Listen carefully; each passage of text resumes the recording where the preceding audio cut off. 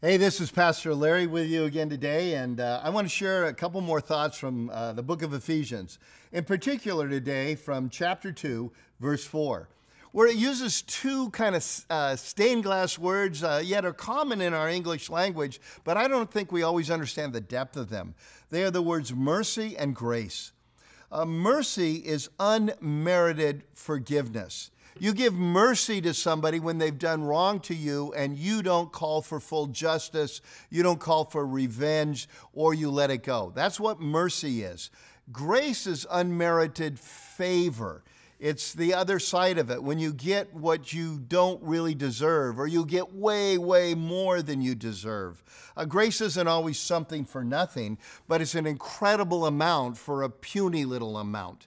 And so listen to this passage in light of those two definitions of mercy and grace that we have received.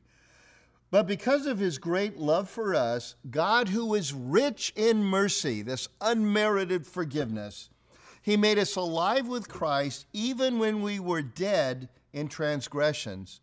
It is by grace, unmerited favor, far more than you could have ever earned, that you and I have been saved. I love those two words. Because in my flesh, I have a tendency to so quickly compare myself with other people. And you know, when I do that, I always find those who are lagging behind. I never tend to focus on those who are running ahead. And uh, I, I, can get this idea that, well, God, you're really lucky to have someone like me. Uh, God, you're really uh, rather fortunate that I made a decision to somehow follow you, or I made a decision to make certain sacrifices, or I did something. And the reality of it is, I stand before the Lord just like you. All of us stand before Him, having received not mercy that anybody should give us, but mercy that is completely, completely, absolutely unmerited from a God who is rich in mercy. It's not like I kind of paid my penalty for it or I had enough sorrow that I deserved it. Unlimited, undeserved mercy. And then on top of that, when we were absolutely dead, when we were his enemies, not after we turned. We are saved by this thing called grace, receiving far more than the best of us on our best day could ever deserve.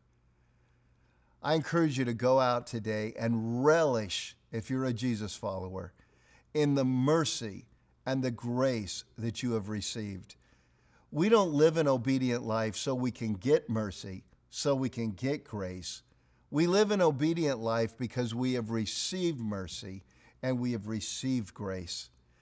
And once we fully understand that, there's nothing else that we would even think of doing as we're blown away by the riches of His great mercy and His incredible grace.